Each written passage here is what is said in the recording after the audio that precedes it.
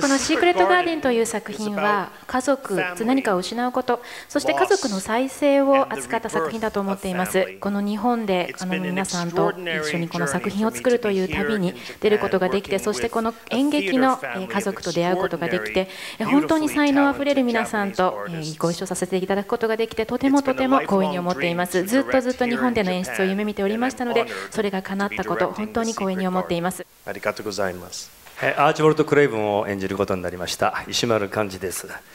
えー、私この「秘密の花園シークレット・ガーデンは」あの子供の頃は本を読んだことはありませんでしたが日本に1993年来日公演が来た時に初めて目にしそしてあまりのこの歌の素晴らしさそして子役たちの何て言いますかレベルの高さそれに圧倒されたことを今でも脳裏に焼き付いております。その当時私は自分はこの役はやるところがないなと。まだ20代でしたから思っておりましたが子役四半世紀経ってこの役作品が巡ってきてやる役に巡り会えた。これは何か深いものがあると思っておりますが、まあ、その今回そのチャンスをうまく生かして新たなキャラクターちょっとね2枚目じゃないんです。ちょっと変わってる人なんですけども新たなキャラクターを私の中で造形していきたいと思っております。どうぞよろしくお願いいたします。リリー役をさせていただきます花房まりです、えー、私は今回亡くなった妻の役ですがとってもあの素敵な作品で素敵な役なので心を込めて一生懸命演じたいと思っております。よろしくお願いいたします。メアリー役の池田葵です。と秘密の花園は小さい頃から大好きな作品なので頑張りたいと思います。よろしくお願いします。メアリー役の上垣ひなたです。今回シークレットガーデンという素敵な舞台に素晴らしいキャストスタッフさんの皆様と一緒に携わる携わることができてとても幸せです。頑張ります。よろしくお願いします。コリン役の大東リッキーです。この役に全力で取り組むのでよろしくお願いします。ダブルキャストのコリン役の鈴木喜水です。えっと乱暴なところや純粋なところのコリンコリンの難しさを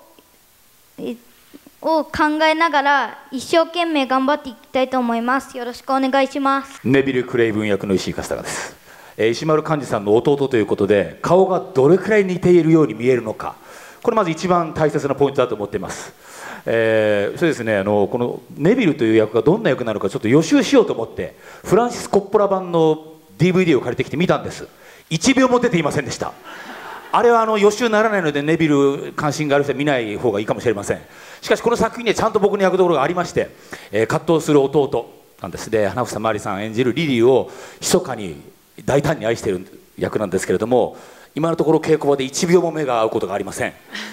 どんな結末になるのか僕自身も楽しみなんですけれども、えー、兄弟の葛藤と愛と絆を、えー、かけたらと思ってます。よろしくお願いいたします、えー、マーサ役を演じます今夏美です、えー、日々稽古していく中でメアリー役コリン役のみんなとの純粋なお芝居と素敵な歌声とあと瞳を見てるとなんか汚い心の部分が全てなんかこう現れていくような癒された空間の中で皆さんみんなで頑張っているんですけれども私は「ホールドオン」というさっき歌わせていただいた曲を約10年ぐらい前に、えっと、知りまして大好きな曲だったんですがこうしてマーサとして歌わせていただけることに大変光栄に思っています。これからも初日に向けて皆さんと頑張っていきたいと思います。よろしくお願いします、えー、ディコン役を演じることになりました松田亮と申します、えー、自分は本当に新参者でですねあのこんな素敵なキャストの皆様そしてスタッフの皆様とミュージカルという作品でご一緒できるというのを本当に光栄に思っております。あの日々お姉ちゃんの言う通り稽古をしていく中で汚い心が純粋な心に変わっていってで本番にはですねしっかりと自分が演じる意味のあるディコンを演じさせていただきたいと思ってます。この作品の一つの力として自分も頑張りたいと思ってますのでぜひとも皆様よろしくお願いします。花房さんとはですねあの彼女がこのミュージカル久しぶりにね出られた時のモンテクリスト博でご一緒しまして、はい、そうなんです。おっしゃる通り夫婦役悲しいちょっとね、はい、あのすれ違いがあった夫婦なんですけど、演じておりました、えー、その時が今から何年前になるのかな？4年ぐらい前になるのかな？ちょっとまああのつい去年一昨年の話じゃないんですね。でも再会した時にその時の花ちゃんと何ら変わってなかった。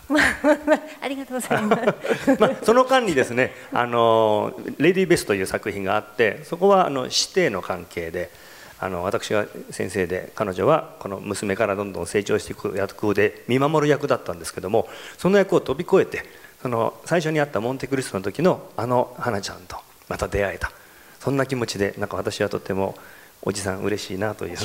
そ んな感じがいたします。でも本当にあの私の方もあのお稽古場であの石丸さんの声を聞いた時にものすごい安心感を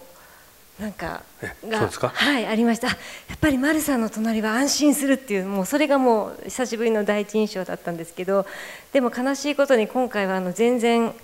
目が目が合わない。さっきねカズも言ってたけどね、はい、なぜかというと彼女は私もう亡くなってるのでそうなんです。だから目が合いようがないんはいです、ね、私は一方的に見るんですけど、うん、全然目が合わず。でさっきあの披露させていただきました歌も実際は目が合わない目が合わないんです。だから貴重なさっきもね、もう幻の一回だったんです。なのでその感覚を忘れずに あの、ね、歌いたいなと思うんですけど、はい、なんかあのとても今回ご一緒できて嬉しいです